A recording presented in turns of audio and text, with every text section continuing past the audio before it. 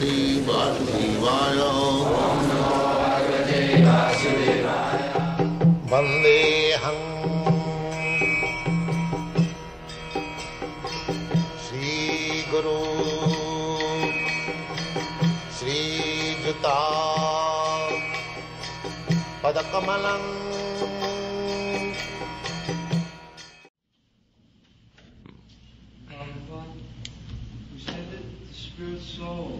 One ten thousandth the tip of a hair.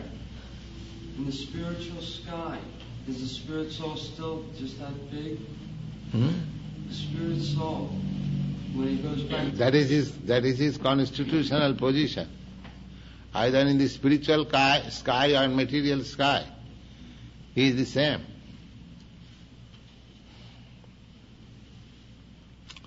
But as you develop in the material world, material body, similarly in the spiritual world you can develop a spiritual body. You follow? Your position is that a small particle, but spirit can expand. Ah, this expansion in the material world is being done in contact with matter. And in the spiritual world, that expansion can be done in spirit. Here, in the material world, I am spirit soul, I am different from this body. Because this body is matter. And I am living. I am living force. But this material body is not living force. And in the spiritual world, there is everything living force. There is no dead matter. Therefore the body is also spiritual. Just like uh, water with water, water. That's all. But water and oil, distinction. Similarly, I am spirit soul, I am say oil, so I am in the water, so there is distinction. But if I am put into the oil, then everything is oil. So, uh, the impersonalists, they do not develop body. They simply remain as spirit particle. That is their idea. Uh, But we Vaishnava, we want to serve Krishna, therefore you require hands, legs and mouth and tongue and everything. So we are given such body. As we are getting this body from the womb of the mother, similarly we get body in the spiritual world, not from the womb of the uh, mother, but uh, there is process to get, you can get.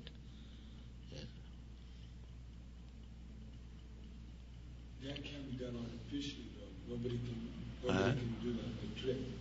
Uh, artificially? Yeah, no one can develop a spiritual just by his own whim, and, oh, I should develop spiritual body and practice. Uh, this Krishna consciousness practice is uh, turning this material body into spiritual body.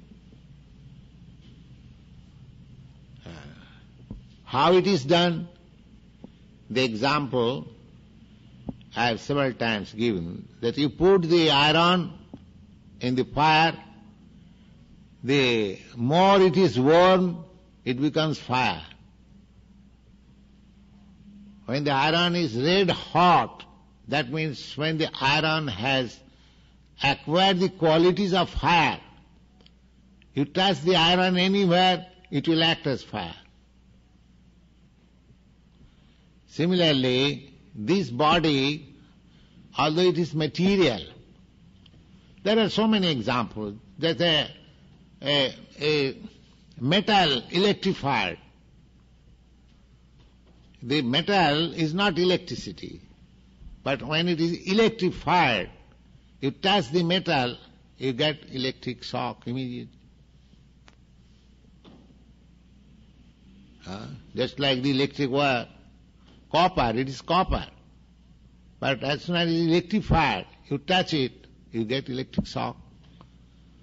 Uh, there are so many examples. Similarly, if your body is spiritualized, then there, then the material action is no more. Material action means sense gratification. So the more one becomes spiritualized, the material demands become nil. No more material activities.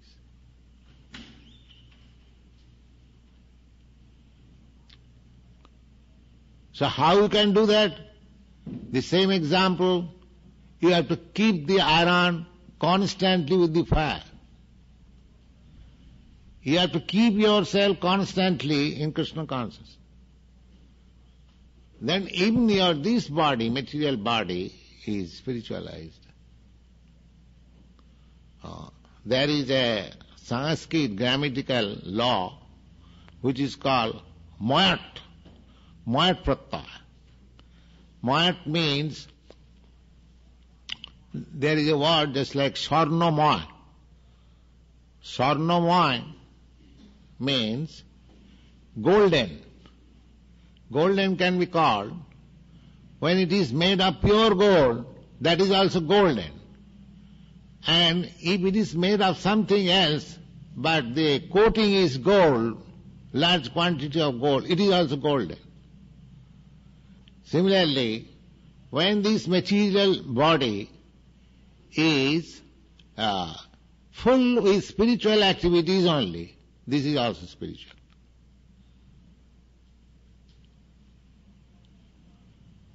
Therefore, saintly persons, of course, in your country everyone is uh, put into the grave after passing away. But uh, in India, according to Vedic system, only very high personality devotees, their body is not burnt. It is considered spiritual. A sannyasi's body is not burned because it is considered spiritual. So how it becomes spiritual? The same example. When the body has no more, no more any material activities, simply spiritual activities in Krishna consciousness, that body is spiritual.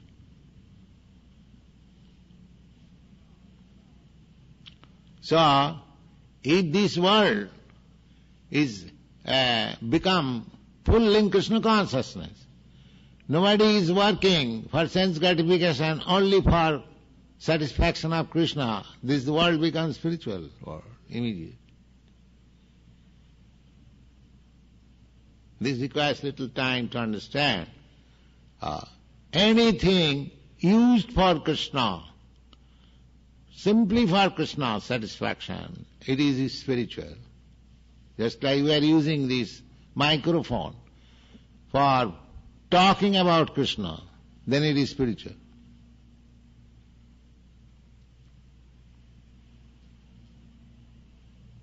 Otherwise, what is the difference between this prasadam and ordinary food? Uh, we are distributing prasadam. The people will say, what is prasadam? The same fruit we eat, and you have simply cut into pieces, it has become prasadam. they can say that. How it is prasadam?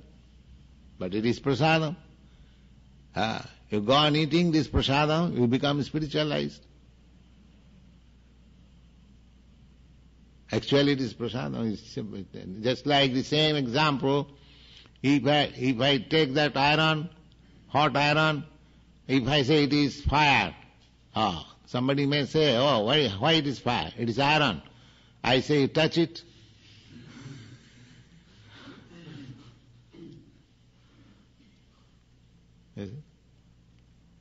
These are crude examples, but that, that is a, when your activities, actually in higher sense there is no matter. There is no matter, everything is spiritual. Because Krishna is spiritual. Ah, Krishna is whole spirit and the matter is one of the energy of Krishna. Therefore it is also spirit.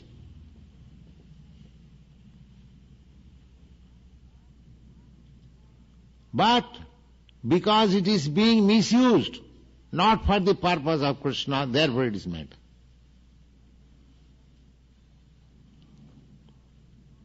So our Krishna consciousness movement is to spiritualize, re-spiritualize the whole thing, whole social position, political position, anything.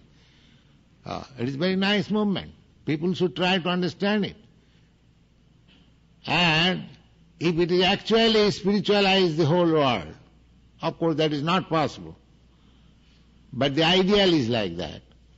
But uh, at least if individually one tries this spiritual, re-spiritualization method, his life becomes perfect.